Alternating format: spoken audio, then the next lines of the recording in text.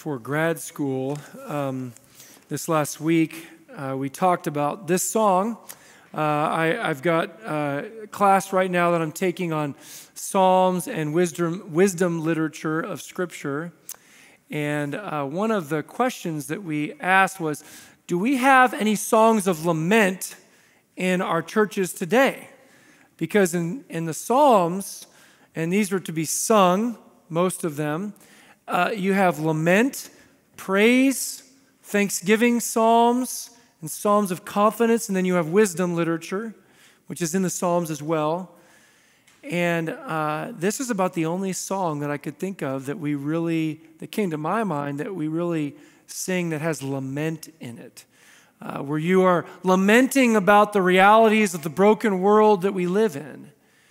Uh, it's interesting that my professor said that he didn't know of any a while back. He was talking, he said, I just don't know of any songs of, of lament. And uh, it, to his, one of his classes, he was talking about this. And and he said, I think it's probably because we have so many comforts in America. We don't like to talk about, we even like to go to funerals, you know. And, you know, we try to cover the bad up as much as possible and think about good things. There was a, a, a TV show I watched a while back where these people come to church for the first time and they're singing, how sweet it is to be loved by you. It's like a seeker sensitive church, you know, and, and, it was just so fluffy. And they're like, I just love this. And they go back the next Sunday, they're singing the same song. And they're like, you know, and it's just like sometimes our even the even the outside of the church can can look at the church and say, guys, just it's all about fluff. Is that is that it? Where's the depth, right? Um, especially when it comes to prosperity gospel type focus. Where's the depth of of God, you know, saving us from the realities of the broken world we live in and and sin and and death and all of that. And it's all throughout Scripture and so uh, that's opened up my eyes more lately. But my, my professor said this. He said that uh, when he was talking to his class uh, one time about this, he said, um, an African American uh, man in his class said, Not in my, in my culture, we have, lot, we have songs of lament. We, we, we have a lot of songs that we, you know, we, we are lamenting about broken things. I don't know if that's because of not too long ago, we think, you know, oh, it's been 200 years since slavery, but it wasn't too long ago. Slavery was a reality in America. Uh, and then, you know, of course, we had the Jim Crow laws, and all that. Maybe there's, maybe that is why I don't know for sure. Um, but the reason why I share that is because this text today is speaking of God's people in slavery. And there is lamenting that's going on, and there's brokenness. And that song is a perfect song that brings us into the text for this morning. Think of Israel, they are um, enslaved to this powerful, control freak dictator, Pharaoh. Their babies have been murdered can you imagine going through that as a people? It doesn't get much worse. I mean, you thought that our governing authorities in America were dictators, kind of. You know, COVID kind of brought a little bit of that out. We're like, we felt controlled, you know, more than we had felt probably ever, you know, for me, you know, in my life. And we all, you know, got frustrated with Pritzker, but you think Pritzker was bad. Pharaoh was was 10 times where there was no checks and balances whatsoever. He believed he was a God, one of the gods of many gods, and we're going to see that in a little bit. But let's read. We're going to be this morning uh, Exodus 3:19, and that's going to start us off into looking at the plagues of Israel, uh, the plagues of Egypt. And so, before we get into that, let's go to the Lord in prayer. Father. Uh, we confess that sometimes we don't take our brokenness to you. Sometimes even we clean up our prayers and tell you what we think you want to hear. We ignore the sin in our life. We ignore the, the, the, brokenness, the sadness, the depressing thoughts. We push those down. And Lord, your word gives us language to bring that out to the surface to then heal from the brokenness that is in our land and is in our blood. And so, Lord, we thank you for your word, Lord, that is our, our healing. It is that sword that penetrates like a doctor taking out something that needs to be taken out and healing us. So, Lord, I pray that you would do your work this morning in our hearts. And most of all, may we look to you for the glorious sovereign God that you are, that you use even the broken things to bring something good in the end, to display your majesty and your glory, as we just sang in that song. In your name, amen. Exodus 3 19. But I know, this is God speaking here or Jesus, Jesus the burning bush. Um, we talked about that before. But I know that the king of Egypt will not let you go unless compelled by a mighty hand. We'll move on to verse 20 as well. So I will stretch out my hand and strike Egypt with all the wonders that I will do in it. After that, he will let you go. Now, Notice, church, the emphasis here. God says, But I know. I know what's going to happen here. You know, that's always a good uh, statement in Scripture where God says, But God, or But I know, but I have a plan. I know that this is going to happen. Nothing catches God by surprise, is what the statement says. Nothing catches God by surprise. He knows the beginning and the end. He's the Alpha and the Omega, the eternal God who sees it all. And he knows what's going to happen. He knows what Pharaoh is going to do. So here is Israel enslaved, their children being killed. There's all these false gods in Egypt. The main purpose for them getting out of Egypt was to go and worship God and make sacrifices to Him. That was what God was wanting to do. He wanted to take them out of that mess and bring them out to the promised land eventually, but first to worship Him, to give them the law, and to shepherd them and father them. And so that's the goal. But Pharaoh, a false God, is like the number one threat to God's promises and his covenantal people. At this time, he is the number one threat to God's promises and his covenantal people. Think of it the promises. They were supposed to be in the promised land. This was all the way back to Abraham. I'm going to give you this land. I'm going to make you a great nation. Kings are going to come from you. And and I'm going to bless you and I'm going to look at the stars, Abraham. Look at the stars. Look up. Look away from the fact that your wife is barren and the situation that you're living in. Look at the stars. Look at me. Look to the vastness of my creation and know that someday your kids are going to be so numerous, your offspring be so numerous. This be a great nation. You won't even be able to number them. And yet they're in Egypt and their kids are being killed and they're being controlled by a tyrant.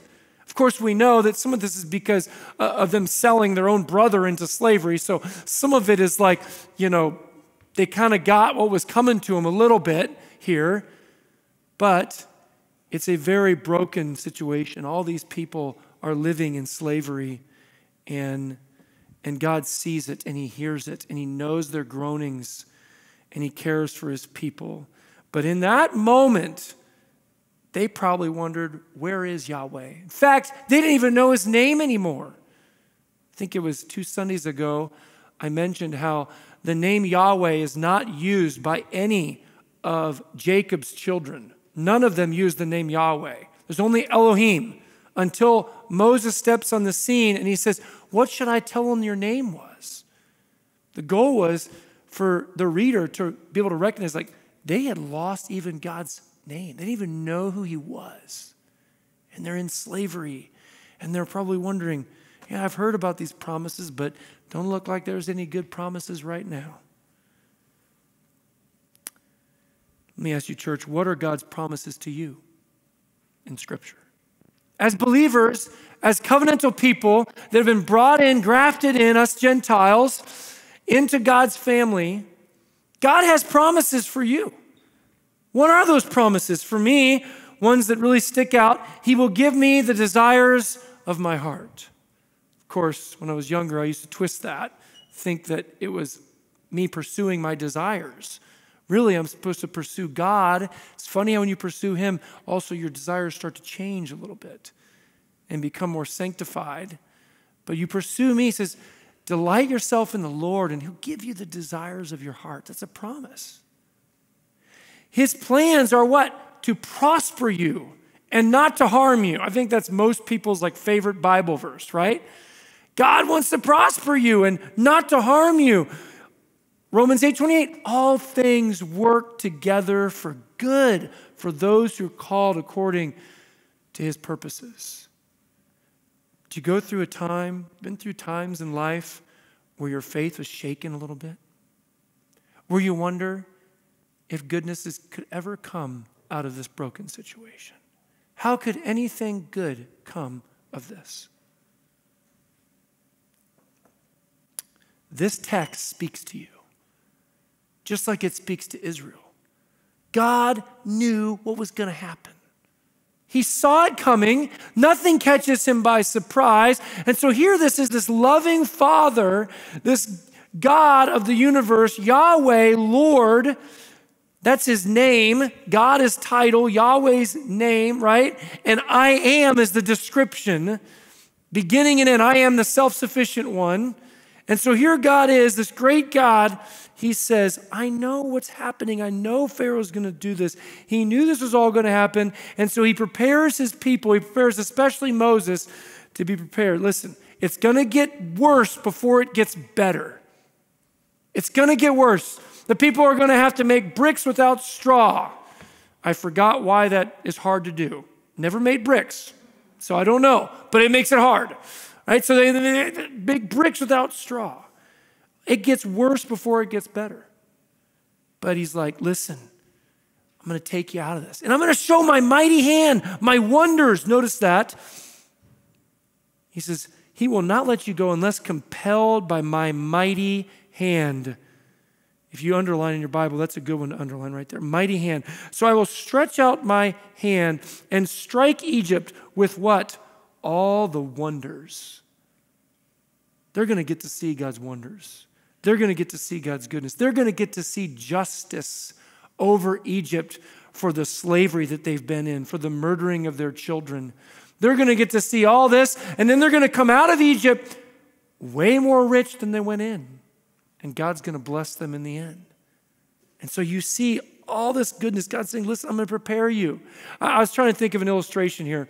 And, the best I could think of it really for me with my kids was when they were little, six, Heidi, what were they? When we first Disneyland trip, six, seven, eight, maybe. They had seen the Disney movies and, you know, and Star Wars and all this stuff. And we're trying to, their friends had already been, and their friends were like, We're going to Disneyland. And our, and our kids are like, Okay, never been there, don't know what it's like, but we're going. And we're like, Okay, guys, but we got a long trip. You know, we were like in Spokane, it was like 21 hour drive, right? and we're going to put these kids in the car. And we strategically did it at night so that they wouldn't hear, Are we there yet? too many times. We drove straight through the night. I was younger then, I could do it. Um, and, and we drove straight through the night to, to Disneyland. And the kids, of course, got antsy towards the end of the trip. And it wasn't, it got worse before it got better. And especially for us, we almost hit a herd of elk in the middle of the night going through Oregon and, uh, uh, close to where my in laws live now. Um, but we, we almost hit a herd of elk. We had a blizzard that my wife and my friend's wife, because we were both driving as couples with our kids, were begging us to stop and get a hotel. And we're like, no, we're men. We're muscling through. You know, we, we made it through the blizzard, even though there was a moment where I didn't know where the road was. It was so white. It was just like, I think I'm following this semi, I guess. Crazy, dangerous trip, and then to Disneyland where it was like they got to fight against Darth Vader. You know, they had lightsabers. And I'll never forget the look on their face. They, you know, they were just like petrified. It's Darth Vader. And like so many other things that happened where they're like, they're like, Dad, is that real? Is that real? Like we would go on the jungle cruise. Is that a real snake? It was just like the magic kingdom when they're that age. It's like the perfect age, you know. You know, it's just a little, and, and I know Joy and Taylor went back over spring break with these same friends, and she went on this uh, Avatar ride, and she said, Dad, it was like our friends told us this. They said, picture what heaven's going to be like when you get on this. And if a person can think up all of this beauty, think what God has done and what he's made for us. I just thought that is such an awesome description. So it's like, this is a picture of where God is going to take Israel. He's got great plans for them, the promised land. And He needs to show them His mighty hand and His wonders because we all know that when they get in the desert, they want to go back to Egypt and they doubt God and they're always questioning Him because their whole mindset needed to be retrained from being in Egypt for hundreds of years, forgetting who Yahweh was. They needed to be reprogrammed. And God did that during the, the, the, the desert wanderings. And so they needed to see his mighty hand. They needed to see his goodness. I've got this land flowing with milk and honey for you guys. I'm taking you out of this bondage. And of course, we know that they doubted. You know, church, if all we saw in Scripture were these fluffy words of uh, that were like how sweet it is to be loved by you all the time and there was nothing you know warning us of of frustrating times and and persecutions we receive we would wonder why god? Why would you tell us it was going to be all a bed of roses following you and, and and it's not? No church we have we have countless texts that tell us listen it's going to get hard before it gets better. Take up your cross and follow me. I want to read a couple more.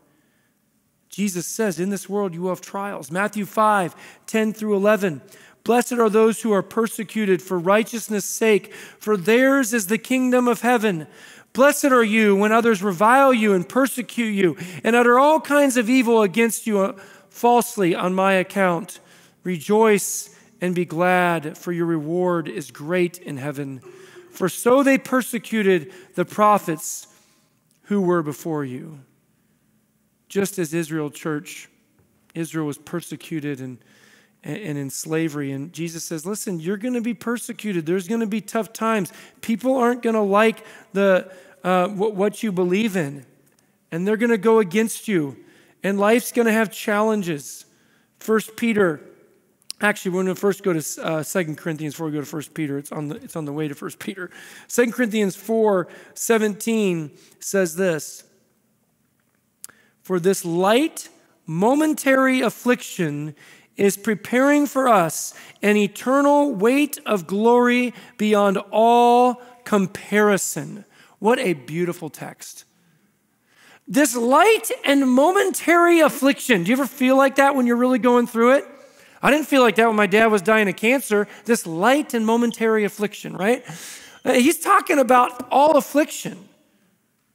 You know, and, and yet I'm reminded my burden is light, Jesus said.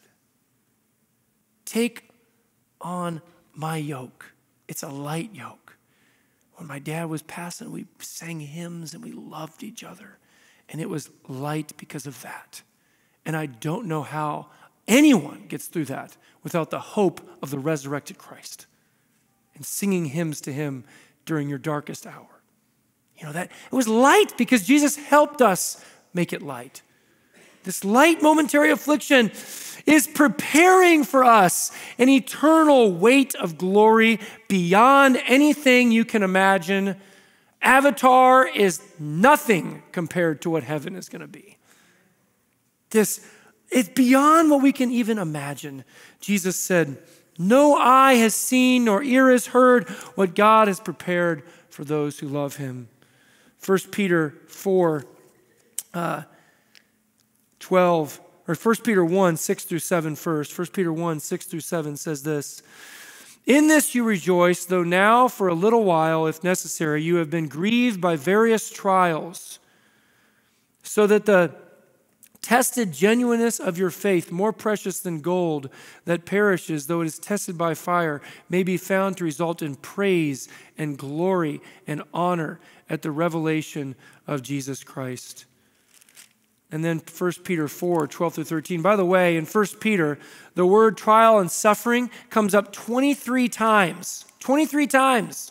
You know, we are so far removed from that sometimes as, as Americans because we've had people die for our freedom and, and we don't get persecuted like these guys did, but they went through it. And, and so they knew this. And this, this book is about how to deal with suffering. If you're ever going through suffering, read First Peter. Read First Peter and dig in deep and let the Lord lift those, those burdens off of you and make them light. 1 Peter 4 12 through 13. Beloved, do not be surprised at the fiery trial when it comes upon you to test you as though something strange were happening to you. But rejoice insofar as you share Christ's sufferings, that you also may that you may also rejoice and be glad when his glory is revealed. Church, beautiful text. Do we need to stop so somebody can deal with their phone? Don't make me have to look at you. Somebody's got a phone going off. so maybe you can't hear it, but you might want to check it, whoever's phone is going off. Maybe this is the joke like I did for when I was at Moody Bible Institute, and some of the students put alarm clocks all over for our president when he was trying to, to teach. I don't know. Maybe the youth. Maybe the youth are playing one last joke before they graduate. Church, these texts are so helpful to us during trials to remind us God saw it coming. Do you notice how in 1 Peter it says, Don't be surprised? Why don't, why don't you be surprised? Why not? Well, church, because God tells you it's coming, just like He did for the, for the Israelites. He's saying, I know that the king of Egypt is going to do this. I'm telling you, don't be surprised, right? So, with all the promises to Israel that God had told them that was going to come to pass, how is this going to work out? How is God going to show his power and his might?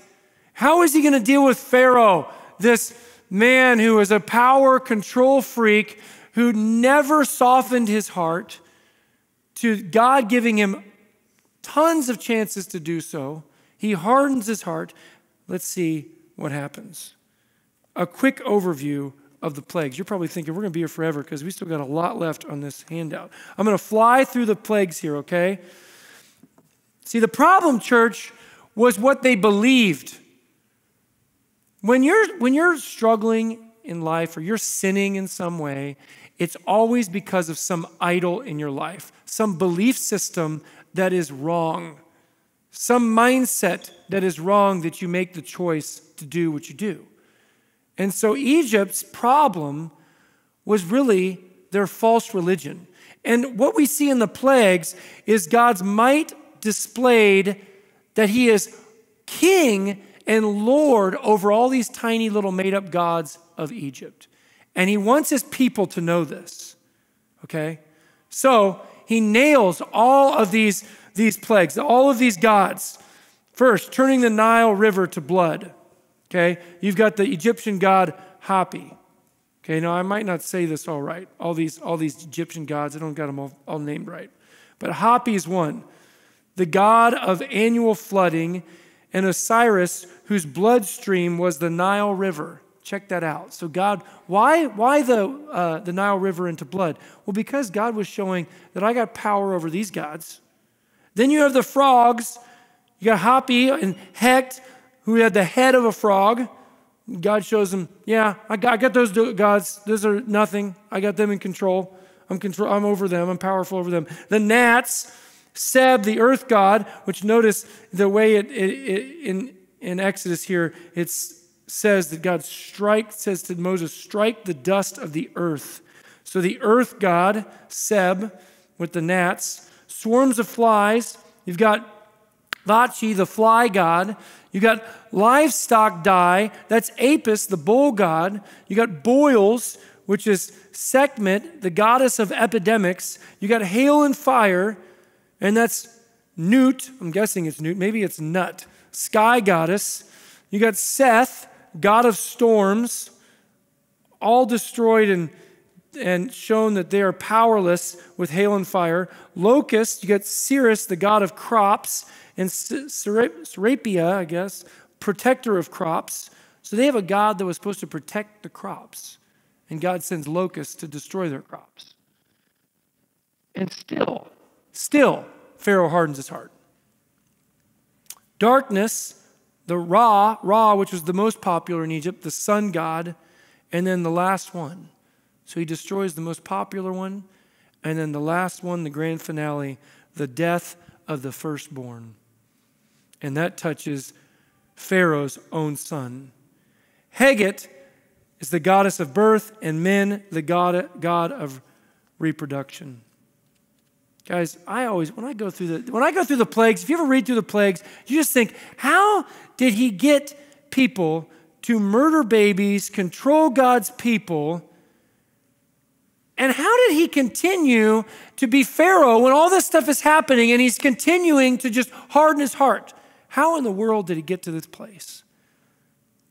Well, church, never underestimate the human heart's obsession with power and to be accepted by people. Those two things are going on.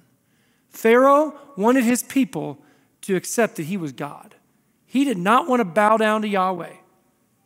And he wanted, he wanted God's people to, to, to realize that he is God, King of kings, over, over God. He wanted the power over everything. Church, I don't know what in the world, guys. I'm sorry. It's just driving me nuts. Can we just figure out where that's coming from? We need to take care of that phone. I, it's hard to preach. Thank you, Donna. So, sometimes I feel like it's like the enemy just uses technology, right? um, where was I? God's plan for Israel out of Egypt to freely worship Him. That's His whole goal. And you wonder how in the world this guy can continue to control and harden his heart and how he could continue to have power over people in church. I'm trying to think of something today that we can take, in, that we can compare to this, right? What is something today we can compare to this? I would say, from a government control standpoint, COVID, right? COVID would be a prime example. I mean, think of what happened with COVID. Some of the things that happened was just like, like, are you kidding me? Like, you'd watch these things happen with like wrestling. When kids would wrestle, they couldn't shake hands because it's COVID. You, you got you to take that out, Donna. I'm sorry. You got to. If you could, Amy, if you could just take your phone out into the into the lobby, please. So, the phone, it's very distracting.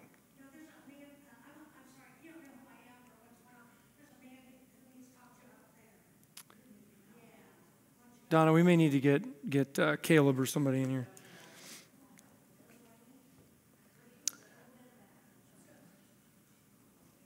So, um, so church, um, where was I again? Remind me. COVID. That's right, COVID, right? So, so COVID, you guys, was a prime example of, of um, the government kind of controlling things. And, and I get that it was a real disease and all this, but there was so much control that happened that you were like, where's the common sense here, right? You're thinking that with Pharaoh. You're like, where's the common sense? Well, don't you see that God is in control of your gods, that he's bigger than your gods? Don't you see that? And, and he's completely like, like just blind to it. And I was just thinking of like, even like basketball. Like my kids are playing basketball, my son's playing basketball. And they're playing basketball on the court. They got to have their mask on, right? Nobody's wearing, it's like on their chin. I called it the chin mask. They're wearing the mask on their chin, right? And, and it's like, does anybody see that this is an issue? That they're wearing the mask on their chin? Like, why are we doing this, right? And then when they would go over to sit on the bench, what do they do? They would separate on the bench, like five feet apart on the bench. But then you're going to go body up against somebody in the post, and you're just like, this makes no sense whatsoever. Where are these rules coming from, right? But, but it was like you didn't want to stand out, and you just, everybody just kind of went, most people just went along with it, and it was just so frustrating. Like that's a, like one example. And the worst was in Canada, they shut down churches, right? In Canada, you had churches shut down and pastors were put in jail. And then there were some churches in the United States where the pastor was, um, was threatened to be put in jail. And I think MacArthur was a prime example where he said, Bring it on, man. Like we're having church. So, church, what I saw come from COVID that was really sad was we saw people staying home after, we saw people staying home after um, uh, uh, COVID was pretty much over with, continuing to stay home. The churches became more empty. The church that I'm going to be uh, candidating at in Ohio, they have been, they have just lost a lot of people since COVID and have never gained that back. So many churches have had that happen. The stats show that church has, has dwindled attendance from COVID by a huge amount, maybe, maybe percentage wise in such a short period of time, probably more than ever before in American history that that happened. So it was just an attack on the church in so many ways. And thankfully, we had a government that didn't come in and arrest pastors for having church. I'm thankful for that. And I pray that that continues. But I often wonder if enough pressure was pushed, what would happen? If enough fear was there, what would happen? You know, that was a test for that. Church, you look at this with Egypt and Israel and, and their oppression by Pharaoh, and then you look at the, the, the health and wealth of, of Egypt, and their goal was that. And all these gods, if you know go through all these gods in Egypt, it was all health and wealth, all health and wealth stuff. That's all it was. Don't touch their health and wealth. And so there was fear of losing control, and there was fear of losing their wealth and their health. That's really what's going on. Fear of losing their health and their wealth, fear of, the contr- uh, of losing control, and look at how God is different than the gods of Egypt. Isaiah 58 3 sticks out to me, church. 58 3. How does God want to be worshiped? How does Yahweh want to be worshiped? Well, he wants to be worshiped not just with singing, not just with fasting, not just with coming to church. He wants to be worshiped in how we treat people. Israel's gods could care less that all these people were in, were in slavery. What do we see in Isaiah 58 3? God says this to Israel because they were fasting. They were doing all the spiritual things. And he says, Why have, this is Israel saying this to God, and God is repeating what they're saying. Why have we fasted and you see it not? Why have we humbled ourselves and you take no knowledge of it? Behold, in the day of your fast, you seek your own pleasure and oppress all your workers. So God's not hearing their prayers. Why? because of how they oppress their workers, because how they treat people. It's like James says How can you praise God with your lips and curse him with the same mouth? Curse people who are created in the image of God, right? With your own lips. How can you do that? Isaiah 58 3 talks about the same thing. Thankfully, church, our God, His ways are higher and above our ways, and we worship Him. We worship in a way that transforms our lives and how we treat people. Lastly, I want to mention here one thing that's often puzzled people and has puzzled me at times, maybe back before Bible school, is why in the world does God harden Pharaoh's heart? So, you have the first five plagues, Pharaoh hardened his heart. The last five plagues, God hardens Pharaoh's heart. What is up with that? Why would God harden Pharaoh's heart? Couple points I just want to make here in closing. God gives Pharaoh the chance to do the right thing five times. Over long suffering and patient is God with Pharaoh. Five times he gives Pharaoh the chance to soften his heart. God uses Pharaoh's hardness to show his great might and wonders. Why did God harden Pharaoh's heart? After they said, finally, God's like, okay, time's up, man. You had your chance. Now I'm going to use you to display my might and my wonders and my justice over you and over Egypt. So now it's justice time.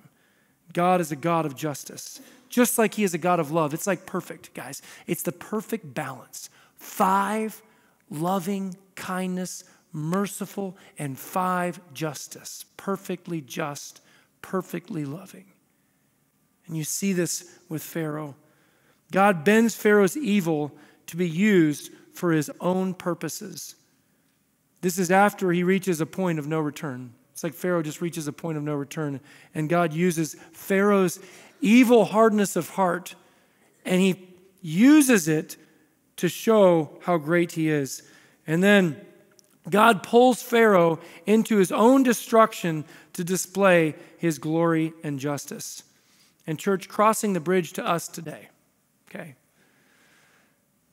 Guys, we live in a very broken world with so much oppression, and the Bible teaches us that it's going to get worse before it gets better. It's going to get worse before it gets better in the last days. And then Christ will return and he will deal with Satan once and for all. And all those who harden their hearts, God is finally going to, there's going to be a tipping point, just like with Pharaoh, where his patience will have ended. Right now, he's waiting, he's patient, right? Why hasn't he returned? Why hasn't he, he dealt with all the evil in the world and, and we're done with all that? Why? Because he is patient, it says in 1 Peter, the book of suffering. Patient, I think maybe it's 2 Peter, wanting no one to perish but all to come to repentance. So he's waiting for people to soften their hearts, just as he did with Pharaoh, waiting for him to soften his heart. And he didn't. And then there's a tipping point, and it's like time for justice. And I'm going to save my people, and they're coming into the promised land. And that's where we're headed, church, is the promised land. And it's beyond what we can even imagine. So know that, church, when you're going through something, when you feel the world is broken, know that He is worthy. He is worthy. And someday, as we sang at the beginning of the service, we will cast down our crowns at the feet of Jesus. All the things that we've done in this life, it's all for His glory. And someday we'll enter into eternity and we'll be in the promised land forever. And all the evil and and, and the pharaohs of this world will be dealt with for good. No more corruption, no more power hungry people trying to shut down churches. That will be done away with, and Christ will reign on this earth. And we long for that day, but until then, we fight the fight. We carry our cross, we follow Him. Why? Because He's told us all this is going to happen. He's a good Father, and He's going to get us to the other side. Amen. Amen. Let's close in prayer. Father, we thank you for your word. We thank you that just as we see with Israel, Lord, there's not anything new under the sun. We still have the same issues in our world today with power hungry people, with brokenness, with confusion. Lord, with false gods. Lord, we have false gods in our land today that promise prosperity and popularity. Lord, these are clearly false gods because your word shows us how we should live. And in America, we have all kinds of ideologies, ways of life tell us to do whatever we feel like, make ourselves happy live for ourselves when, Lord, we know that your word says that we were created to worship you, to glorify you, to know you. And that is when everything fits into its proper place. So, Lord, uh, help us to do that even in the midst of sometimes seemingly living in Egypt, where there's a melting pot of all kinds of gods and philosophies and ways of life that are the exact opposite of following you. Lord, help us to keep our eyes straight, our gaze on you, the author and perfecter of our faith, knowing that you're going to bring us to the other side, to the promised land, through all of the trials and the tribulations and the attacks. That, Lord, it may get worse before it gets better, but we are headed in to the promised land. In your name we pray, amen.